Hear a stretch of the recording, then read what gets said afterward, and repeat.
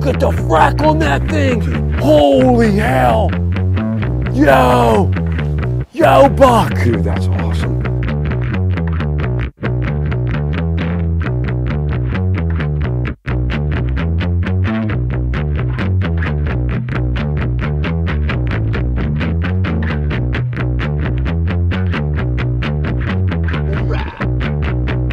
Does the water look like it's changed at all? I wonder if they did something with the gate that caused the change in the fishing. Uh-huh. Let out or let in. trying to look and see. I don't see where it, came out. I don't see a watermark. No, I no, neither do I. I don't see a drop. It could have come up. But then there'd be stuff floating around if it did. Yeah, you'd see debris fields. You know. Come on, fish. I'm tempted to wrap this thing up and go to and just smash them. You want to? Man, it's I I think I'm a de- I think I'm a decent fisherman. I just can't understand how I'm a decent fisherman. I'm an okay fisherman here. I can't understand what's going on. The bite seemed a lot better, right? With no current. With no current. Yep. The current started to pick up. You, you, Dan, you noticed it before I noticed it, Mhm. and the fishing got not. It's not as good, right? So, mm-hmm. you know, that's the funny thing. Like, you assume current's always a good thing, but maybe in you know because we have cold front conditions, maybe it's not. You know, those fish feel that water falling.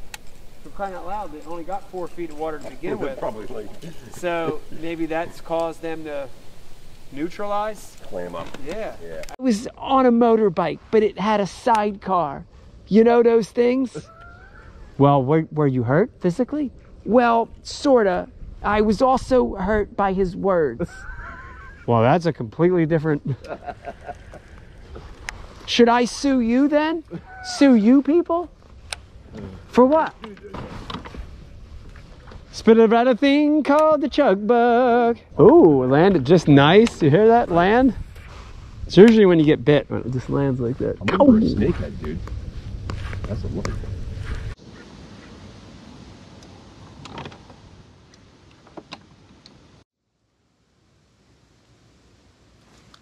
Got him, bud?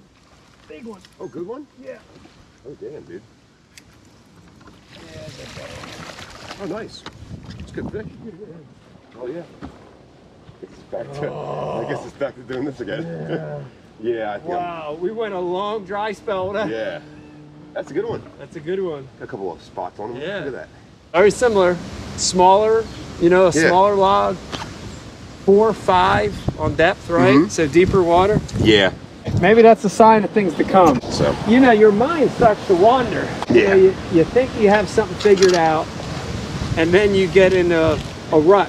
And it could have been as simple as an area. It could have been, yeah. Well, we just kept on going that way. yeah. Yeah. And you get in a rut, and you start to second guess yourself. You know. Because now we got what, like five foot of water? Yeah. Yeah. Not three. Four, four feet, four and a half foot here. So, Yeah. And that makes sense. Yeah. I guess we gotta stick with the pattern and just continue on. Might have to, Yeah. or at least one of us should be doing this at all times. Well, So Dan, this is, you know, we're catching most of them low and tight. They're not really hunting or chasing, and it's typical of a cold front in freshwater. Mm-hmm.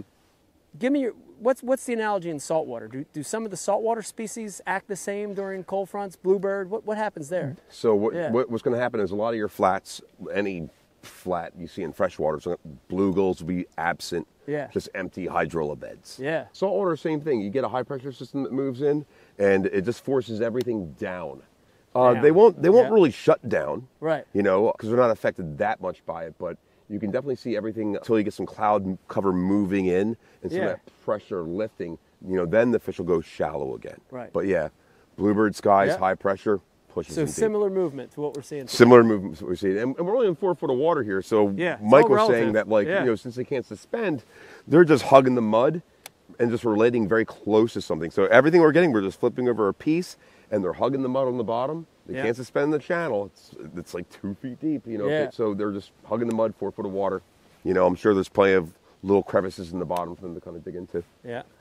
I think that's exactly what's going down here. Yeah, we're essentially carp fishing today. Yeah. We're carp Yeah. fishing with lures. Yeah, we're carp fishing with lures. Yep. Is it? It's an eel. It's got to be a snakehead. It's a catfish. No, it's a snakehead. Jesus. Jesus. Yeah! Ah! Yeah! Oh, look at that, dude. Yeah! Yeah! Yeah! Thing. Dude, I mean on a chatterbait on the reeds. Oh, look at that. Yeah! Dude, that is so cool. Dude, Look at that. That is Listen. so awesome. a lot of people despise these things, Dan. A lot of people hate them. A lot of people love them. I love them. I think I think here's the thing. When these first got in these systems Yeah. 15 years ago, people were scared, and I get it. Uh huh. But they have not disrupted the native population at all. Yeah. It's an amazing game fish. It's an amazing fighter. And if you like to eat fish, dude, No, I hear they're good. that's the deal. Yeah. Look at the color on it. yeah. I mean, the skin, the texture, of the skin's like crazy. Look at the striping on it. And look at that broad tail. Dude, no, that's they're all propulsion. Oh, yeah. The entire body. Yeah, and this is an ancient fish. You got to remember in the in the scheme of the age of fish, Yeah. dude, this is an old Early. This is early Yeah. because it has gill structure Mm-hmm. and it has lung structure. Yes. So very very cool. It's how it Yeah. made it all these millions of years. It can breathe air. It can you know if you've caught these things, you know how tough they are. But gorgeous fish, man. Now this Gorgeous thing's fish. cool. No, people do. People love these fish. Yeah. Um, I can see why. That was a great hit. Great, awesome hit. Yeah. Almost like a top water. You know? Yeah, You exactly. Yeah. Look at those teeth. Those fangs. Oh yeah. Oh yeah. Look at that. all around. Oh, they're nice. See that inner inner line of Yep. fangs? Got a pretty strong mouth, man. Yeah, that thing is awesome. Sick. Yes, Awesome, dude. yes, that was definitely a bonus. I mean, That's great. we're out here bass fishing, but this to me is exciting because I don't catch that many each Yeah. year. You know, so it's a very cool catch.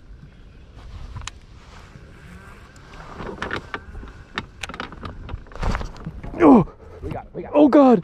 Oh my God. Oh my God. Oh my God. Oh yeah, nice, dude. Awesome. Look at that. Oh, that's, oh, that's a big. Yeah. Oh, dude, look at that one, bro. Yeah. That's a good three. That's That's a three pounder. Yeah. That's really good. Ah. Yeah. Look at that. That's good fish. I mean, they're eating it when it when Yeah. it looks like that. They're Pretty eating it. buzzing out too, dude. Wow. When you see them eating something like that, there's no doubt you're throwing the right bait, the right color combination, the right weight. That's a good fish. Yeah. Awesome. Look at that. Good fish, bro. Stay the course. no, no kidding. Stay the course.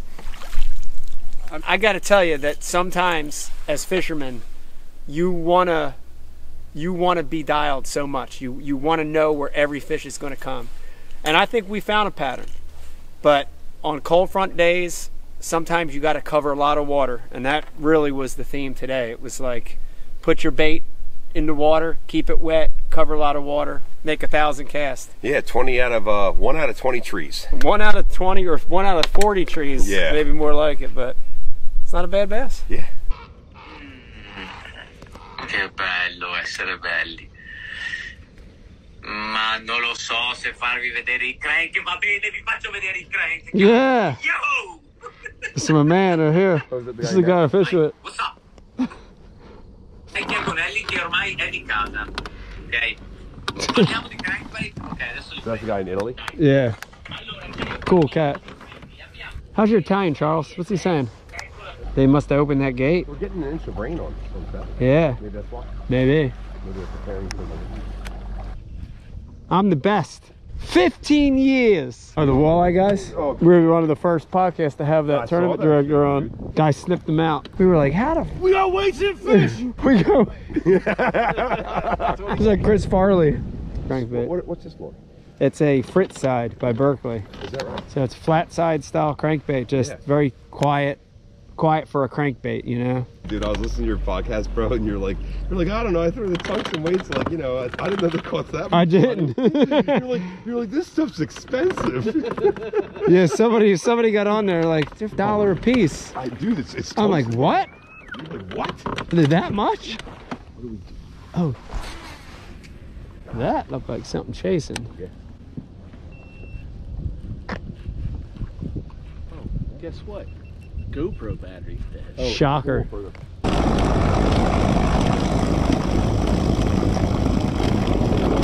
a tough day.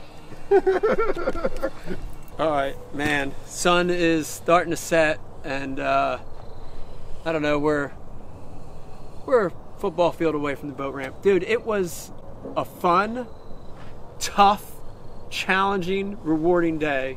First of all, thank you for coming freshwater fishing. With Oh me. man, It absolutely. felt so good to be able to turn the tides and have you in my boat Yeah. instead of me in your boat. So that was awesome. Yeah, But um, it was a good learning lesson. Like all these videos we're shooting, it's you know we're not out practicing, nothing set up. It's like Mm-hmm. real life, and it was interesting to see what happened today, developing a pattern, but then all of a sudden watching the current, you know, the current, the water getting sucked down, made these fish neutral. I mean, that's the reality of what it's happened. going right by right now. Um, yeah, Shooting outta yeah, here. We, we were so far back we couldn't see that the current had turned on. Um, probably a little bit after we left the dock, Yeah, and uh, yeah, we didn't realize it probably shut a lot of these fish down. But I'll tell you what, for a for a bad day of fishing, we caught a lot of fish. Caught a lot of Yeah, fish. it's not bad. It's it, you know we certainly didn't get a skunk, Yeah. um, but definitely a learning experience. You know, there's, there's always something you can grab from these trips. always something you can Yeah. grab. You know, for me, current on wood like this, your mind thinks this is what you want, sets the fish up. Mm-hmm. But in the late fall, after a cold front, the current and the falling water, rapidly falling water, Yeah. hurt us. Those fish got freaky. Yeah, like they did, it wasn't bringing food anymore. It was just kind of being discomfort. For Yeah, discomfort, scared to get Yeah. beached high and dry. Right? Let's Yeah. let's get away from Let's the get away from that. And it's like they're cold, but they have to expend energy to fight the current, So they're Yeah. going to be getting behind something, maybe in the center, maybe suspended, but just not doing a whole lot of anything. Yeah. Just kind of chilling out. Yeah. But yeah, we saw a, a beautiful eight point buck today cross Saw the buck, across the cross the river. saw a beaver, and you know I love. I Appreciate, Dude, appreciate you sharing a boat with me. Yeah, man. Two promises. Will you promise to let me back on your boat? Hopefully Thursday. Okay. I'm you- trying to get you before you go away. Okay. Yeah. And will you promise to come back on my boat for another freshwater session? Oh yeah. No, absolutely. All right. yeah.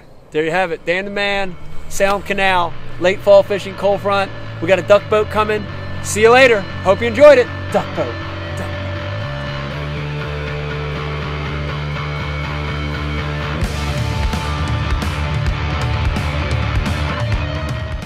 To be here with Vegas is just awesome to watch him in a new environment. So it's a big part of fishing. So um, we did that all morning. We got just about. Oh wait, he's hooked up. He's hooked up. Oh my god! we're live. li- oh! oh my gosh, we're live lining.